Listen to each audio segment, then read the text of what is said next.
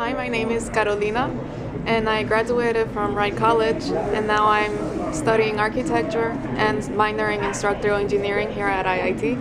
And I want to thank all my professors uh, from city colleges who have prepared me, taught me various computer software drawing, drawing techniques, and which I apply now uh, to all my projects here in uh, IIT. And I just want to thank city colleges to prepare me um, in a successful journey um, to be an architect.